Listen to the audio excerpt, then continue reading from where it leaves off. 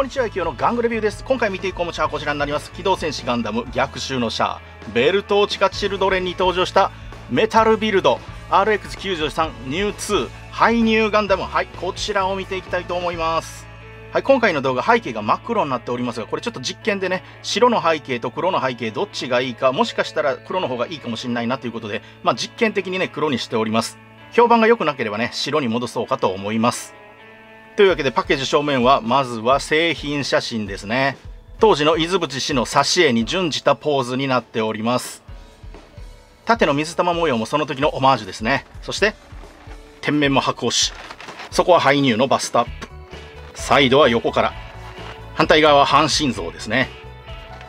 裏面はアクションポーズが載っております。両刃タイプのビームサーベルにバズーカ。そしてライフルとシールド持ちですね。さらに表紙と同じように当時の挿絵ポーズが載っております。では早速開封していきましょう。はい中身のレイアウトですがまずはブリスター1段目はビームサーベルのエフェクトやビームライフルそしてフィンファンネルが入っております。あとはフィンファンネル用の支柱ですね。ブリスター1段目はこんな感じ。そしてブリスター2段目はバックパックにプロペラントタンクシールドバズーカ各種手首。3段目のブリスターはいつものメタルビルドの台座ですね。マーキングはこのようになっております。アムロのパーソナルマークと Hi-νガンダムと書かれております。では Hi-νガンダム本体見ていきましょう。おお厳重ですね。いつも通り。さあでは正外符を。取り外しましていつも通りね重さを感触していきましょう。あーやっぱりでかいですね。他のメタルビルトよりでかいぞこれ。ということは重さもそれなりにあるのかな。じゃあちょっと持ち上げてみましょうかね。よっ。おおずっしりきます。いやいいですね。この密度感。たまんねハイディテールフィギュアですねマジで。おーずっしりきます。外側のねプラの感触は冷たくないので ABS なんでしょうね。うん。触ってる感じメタルの感触はないかな。内部がメタルってことですね。では説明書もパラッと見ていきましょう。表紙からの部品一覧表。そしてビームライフルニューハイパーバズーカーの説明。そしてシールドビームサーベル。本体の装甲の展開バックパック。支柱。はい。そして裏に回ってバックパックとフィンファンネルですね。はい。そして表紙に戻ります。それではまずは箱から出した状態でぐるっと一周見ていきましょう。ぐるりと。背中が見れるのは今だけですね。はい。ぐるっと回ってこんな感じです。で可動範囲見ていきましょう。頭部はおそらくボールジョイント接続かな。自由に動きます。ちょっと中が見えないので分かりません。襟がでかいので横向きは45度ぐらいまでですね。そして襟足の部分がちょっと分かりにくいんですけど下に首を向けると襟足が沈み込むようになっております。まあ多少のところなんですけどね。ちょっとだけ動きます。そして肩。肩アーマーは独立していてこのように動きます。そして本体側スイング。そして肩自体のスイングはこんな感じですね。最大でこれぐらいかな。はい。そして軸接続で1回転。でロール。で肘ですね。肘は二重関節になっていてこれぐらい曲がります。さらにですね肘の下にもロール軸があります。ここですね。これは何に使うかというとですね瓦曲げができるようになっております。拳を前に向けてこれで瓦曲げと。ただし瓦曲げした場合は最大で90度弱ってところかな。そして手首の、えー、袖の部分ですね。内側への可動域。そして手首自体は上下。で軸接続で回転軸。そしてボディですね。ボディはまず前方向。そして後ろ方向。後ろから見てみるとねこういう感じになっております。内部構造が見えます。そして横方向ですね。左右。これぐらい。そして腰の回転軸。1回転可能ですね。まあ、擦れには注意してください。そしてフロントアーマーはこんな感じで動いて上方向への跳ね上げ。そしてサイドアーマーはこれぐらいの可動域ですね。さらにリアアーマーも跳ね上げ可能。股関節はメタルビルド特有のスライド軸ですね。これは後ろから見た方が分かりやすいかな。このように軸が移動します。擦れがねちょっと怖いですからね。慎重にいきましょう。はい。前方向はこんな感じですね。そして後ろ方向はこれぐらい。さらに開脚ですね。サイドアーマーがねここまでしか上がらないんでサイドアーマーを避けながら擦れに注意してサイドアーマー避ければ真横まで行きます。でロール軸ね。で膝の二重関節。ここに注目ですね。はい、このように内部構造が出てきます。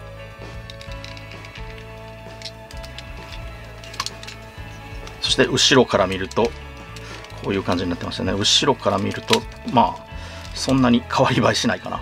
はい。で、足首。まずは設置角。そして、上下。さらに回転軸。で、えつま先もね、このように動きます。では、オプションパーツ見ていきます。まずは表情のある手首。そして、バズーカ、ライフル用の手首。これはビームサーベル用ですね。角度がついております。で、これが普通のビームサーベル用。これはバックパックとファンネルラックです。全体はこんな感じ。で可動箇所は付け根の部分ですね後ろ方向さらに角度も変えれますこうですねはい。そしてえ、ー、とね真ん中のピンファンネル接続部を動かします。そうするとですねこのようにファンネルラック自体を畳むことができます。収納時はまあこんな感じかな。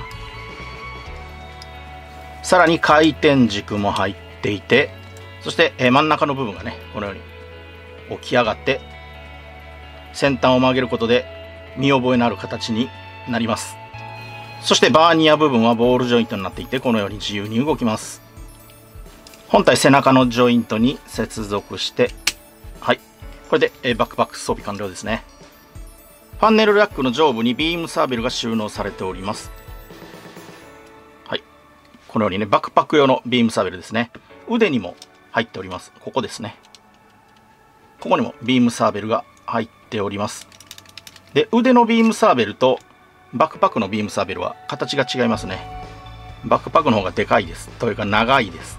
あちなみに反対側にもビームサーベルちゃんと入っております。ビームサーベルのエフェクトは太いやつ、細いやつ、短いやつ。2つずつ入っていて、どちらのビームサーベルにも取り付けることができます。腕のビームサーベルに太いやつを取り付けることも可能ですね。さあ、そしてバックパックのビームサーベルは穴が両方に開いておりますので、両方に取り付けることができます。まあ、こういう感じでしょうかね。はい、えー、両方からね、ビームが出てるように再現することもできます。こっち、細い方に変えてみようか。細いエフェクトをつけるとこんな感じですビームライフルの全体はこんな感じです。ベルト付き状態になってます。はい。そしてベルトなし状態にするときにはねベルト部分をこのように取り外してこちらのベルトなしパーツと交換になります。反対側こうか。こうですね。はい、これでベルトなし状態ですね。これはもうお好みでいいんじゃないでしょうかね。僕はベルトなしの方がいいかな。そして側面に接続ジョイントがあります。これを起こすことでリアアーマーに装着しておくことができますこういう状態ですねそしてニューハイパーバズーカー全体はこんな感じぐるっと。でギミックはですね持ち手部分折りたたんで収納できます。そして方針部分を縮めてさらに方針部分を曲げる。これで喧嘩状態ですね。ここにジョイントがあります。バックパックに接続しておくことができます。真ん中部分を折りたたんでここにジョイントがあります。差し込んで下にスライドさせる。はい。これで喧嘩状態ですね。そしてバックパックに取り付けるブースターですね。全体はこんな感じ。で根元の部分にね可動範囲があります。回転も可能ですね。でこの赤いマーキングがあるところが上らしいですね。この向きで取り付けるらしいです。さらにブースター第1段階取り外すっていうことが可能になっております。ではバックパックに取り付けていきましょう。赤が上ね。よっと。反対側も赤が上の状態ね。はい取り付けるとこんな感じです。おお迫力増しますね。はいこのように付け根部分を動かすことができます。すげえな。つけるとつけないとでは全然違う。そして、えー、いろいろ話題をさらったカルピスグレープ調のシールドですね。全体はこんな感じになっております。マーキング見ていきましょう。ちょっと見にくいんですけどね。アムロのパーソナルマークが入っております。はい。ちゃんとねえっ、ー、とこの水玉模様の上にパーソナルマークが入ってますね。塗装も綺麗です。でギミックとしてはねここの下の部分ですね。真ん中の部分がこのように伸びるようになってます。そして接続部分ですね。ここも展開してシールドを後ろに持ったり横に持ったりすることができるようになってます。あちょっと硬めですね。根元はボールジョイントになってますね。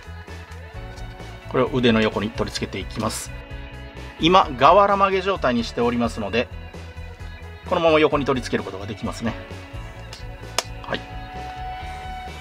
シールドを取り付けるとこんな感じになりますね。さあそして真打ち登場フィンファンネル。先端の部分に赤いマーキングがついてる方が上です。上と下でグラデーションのパターンが逆転しております。では同じものが6個ついているので代表して1個見ていきましょう。ぐるっと。かなり色分けが細かいですね。シルバーカッパーそしてゴールド。色分けされております。そしてグラデーション部分の出来はこんな感じ。はい。全体こんな感じです。で折りたたむ時はですねえっとこうですね。先端に赤マーキングがある方が長くなるように折り曲げます。そしてフィンファンネル展開状態にするときはヒンジをこのように折り曲げてこれで攻撃状態ですね。はい。近くで見るとこんな感じになります。そしてファンネルラックにつけるときはこれかなり硬いです。取り付けが硬いですね。結構取り付けるのに苦労します。でファンネルラックのね基部の部分も動くんでちょっと取り付けづらいんだよな。これは結構はめづらいですね。何回か練習したんですけどねやっぱりねはめづらいね。あはまった。はい。こんな感じでね結構苦労します。角範囲はこんな感じですね。グリグリっといやほんとね相当硬いのでバックパックは本当取り外してから取り付けた方がいいね。いいよ。これもね何回かはめたり外したりしてたらそのうち柔らかくなってくるのかな。まあ、買ったばっかりかもしそのせいかもしんないですけどね。とにかく硬くてはめにくい。今ねわざとグダグダしてるところを見せております実際これぐらい手間かかるんだよっていうのをね分かってほしくてこのような動画にしております。はい。はい、ファンネル背負うとかなりバックヘビーになりますね。これは台座に飾った方がいいですね。ただ、後で説明しますけどね、ちょっとさっきこれだけやっとこうかな。かかと少し後ろにずらすことができます。こういう感じですね。そしてつま先も前方向に少しずらすことができます。伸ばすっていう感じかな。はい。今、カチって言いましたね。ほんとちょっとだけなんですけど、これでね、えー、足の裏の面積を前後に伸ばすことができるので、多少増しになります。これはね、走行展開筋肉の一環なんで、後で説明しますけどね、かかとだけは先、ちょっと説明しておきますね。はい、こんな感じでね、足裏の設置面積を広げておきましょう。ちょっとした差なんですけど、これ、やっとくとやっとかないで安定性が全然違うんだよな。はい、それではフル装備状態でぐるっと一周見ていきましょう。ぐるりと。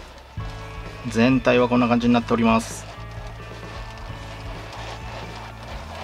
ぐるっと回って、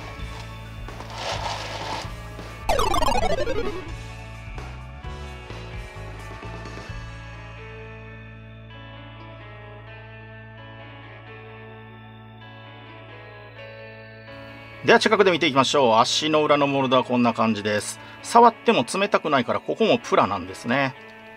そして足回りから塗装の豪華さを見ていってほしいですね。はい。こんな感じで、至る所にワンポイントでいろんな色が入ってますね。いやー、しかしね、こうやって持ってると重い。さすがフル装備は重いね。はい。いや、どこ見ても究極ディテールですね。さすがメタルビルドですね。いや、大迫力です。ずっと背中側もね、かなり色が入っております。そして、ボディからの胸周り。あ、重たい、本当に。はい。そしてバックパックの上の方とね、見ていきましょう。おー今ピンファンネルがカメラに当たりました。それぐらい結構ね場所取るっていうかねかなり あちこち広がってますから結構当たりますね。そして顔がねちょっとねこれ外れ引いたかな。ちょっと下に下ろして見てみようか。はい顔のね3本線のへの字ダクトの部分なんですけどちょっとね汚れが出てるというか塗装がはみ出してるというかこれね、肉眼で見たら全然わかんないんですけど、さすがにこれぐらい拡大したらね、ちょっと汚れてるのわかるでしょうか？鼻の、えー、への字ダクトの上の部分とね、ちょっと下の部分とに、ちょっと黒い汚れがありますね。はい。あ、こうやって見るとちょっとよくわかります。どうしよう、これ。交換出すべきかなめちゃくちゃかっこいいんだけどなそこだけが残念だなまあ、一応ね、連絡してみるか。いやー、この存在感。たまんねえな、これ。ほんとマジで。かっこよすぎん、これ。やばいですわ。ポーズをつけるとこんな感じです。空中浮遊ポーズ。いやー、絵になるね、本当に。かっこよすぎる。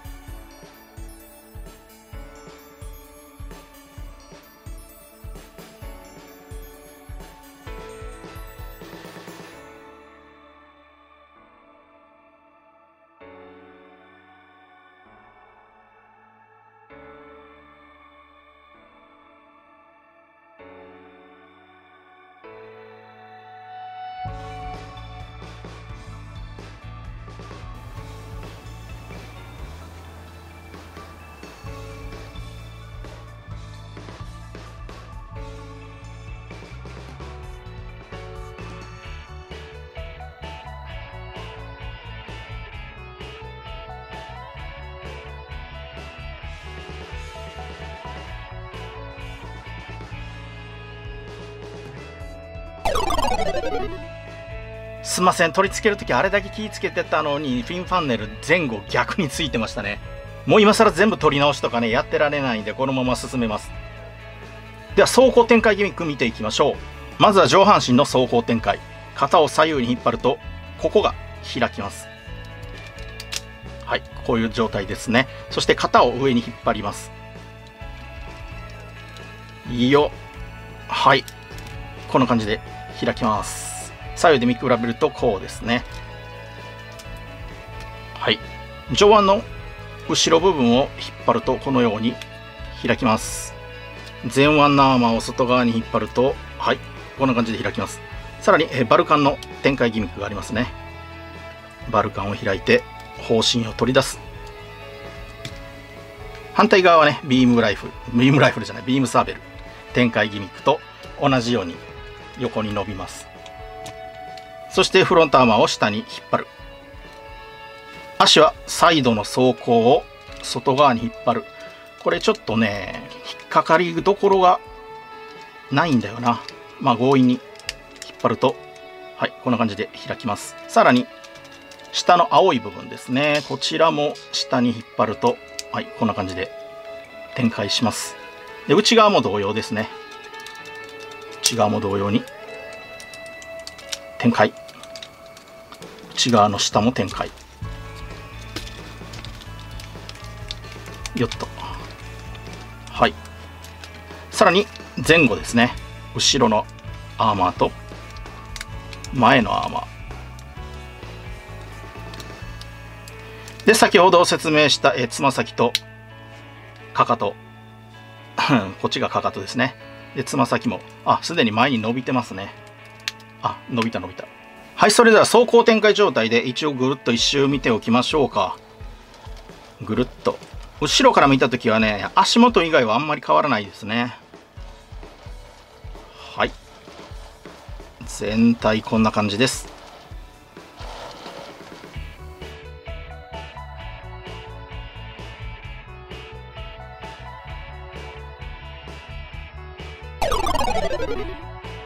さあ最後はフィンファンネル展開状態。台座にこちらのアタッチメントパーツを取り付けていきます。よっと。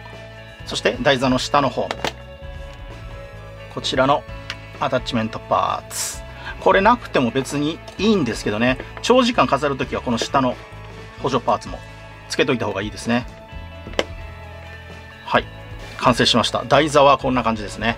そしてそれぞれの台座の先端部分にフィンファンネルを取り付けていきます。フィンファンネルに接続してそして下のフィンファンネルだけねこのように補助パーツ。台座自体がね下向いてるんで下に重力がかかるんで長時間ディスプレイするときはこれつけといた方がいいですね。この支柱。ちなみにね下の支柱ねなくても一応保持はできます。こんな感じで。真ん中にも取り付け。そして上段にも取り付けよっと。はいこれで、えー、フィンファンネル台座完成ですね。こんな感じになっております。はいそれではファンネル展開状態でぐるっと一周見ていきましょう。ぐるっと。全体はこんな感じです。今下のファンネルの補助棒は外しております。いやこれ意外と良くない。うん。このふよふよふよふよ浮いてるような感じのファンネルがねいい感じで宙に浮いてるように見えていいですね。はい。ファンネル用の支柱もかなり透明度が高くていいですね。